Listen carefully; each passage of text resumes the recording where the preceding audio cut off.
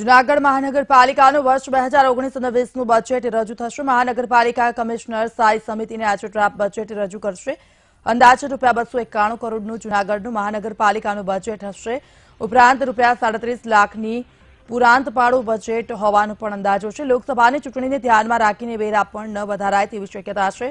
આ બજેટમાં વિવિધ વિકાસના કામોને પણ ધ્યાનમાં રાખવામાં આવશે.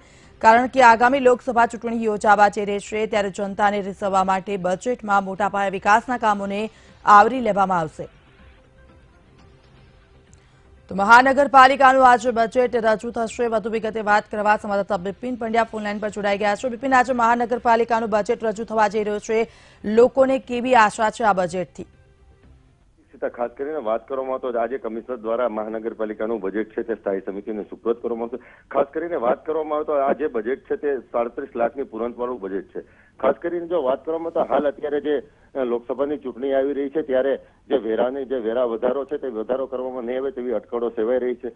બીજી ખાસ કરીને વાત કરવામાં આવે તો જે ગઈ સાલ જે આગલી આગલા વર્ષનું જે બજેટ હતું તે બજેટ પણ પુરાંતવાળું હતું ને જે બજેટની અંદર સૂચવેલા કરોડો રૂપિયાના જે કામો હતા તે હજી સુધી પૂર્ણ નથી થયા. જી. બિલકુલ આભાર બિપિન સમગ્ર વિગત બદલ.